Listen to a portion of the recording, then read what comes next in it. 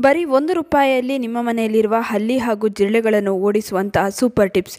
ಬರೀ ಒಂದು ರೂಪಾಯಿ ಇದ್ದರೆ ಸಾಕು. ನಿಮ್ಮ ಮನೆಯಲ್ಲಿ ಒಂದು ಕೂಡ ಹಲ್ಲಿ ಹಾಗೂ ಜಿರಳೆಗಳು ಇರೋದೇ ಇಲ್ಲ.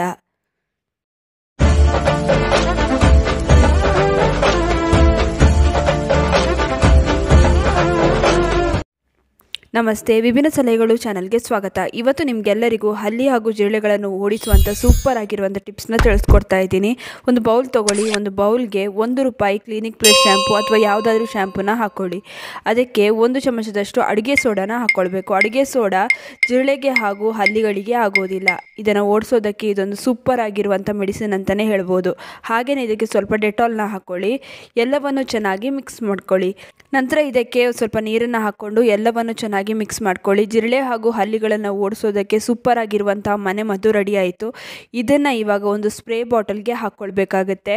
ಎಲ್ಲೆಲ್ಲ ಹಲ್ಲಿ ಹಾಗೂ ಜಿರಳೆಗಳು ಓಡಾಡುತ್ತೆ ನೋಡಿ, ಆ ಜಾಗಕ್ಕೆ ಇದನ್ನು ಸ್ಪ್ರೇ ಮಾಡಬೇಕು. ತುಂಬಾ ಎಫೆಕ್ಟಿವ್ ಆಗಿರುವಂಥ ಹೋಮ್ ರೆಮಿಡಿ ಇದು. ಇದರಿಂದ ಜಿರಳೆಗಳು ಹಾಗೂ ಹಲ್ಲಿಗಳು ಮನೆಯಿಂದನೇ ಓಡಿ ಹೋಗುತ್ತೆ ಅಂತಲೇ ಹೇಳ್ಬೋದು. ತುಂಬಾ ಚೆನ್ನಾಗಿ ಇದು ವರ್ಕ್ ಮಾಡುತ್ತೆ.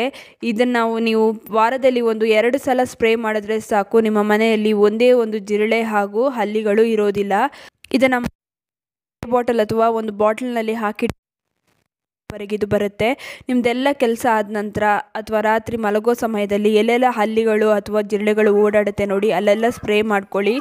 ತುಂಬಾ ಚೆನ್ನಾಗಿ ಇದು ಜಿರಳೆಗಳನ್ನು, ಹಲ್ಲಿಗಳನ್ನು ಓಡಿಸುತ್ತೆ. ಹಾಗೆಯೇ ಮನೆಯಲ್ಲಿ ಒಂದು ರೂಮ್ ಫ್ರೆಶ್ನರ್ ಥರ ಕೂಡ ಇದು ಕೆಲಸ ಮಾಡುತ್ತೆ. ಒಳ್ಳೆಯ ಸ್ಮೆಲ್ ಬರುತ್ತೆ ಮನೆ ತುಂಬ.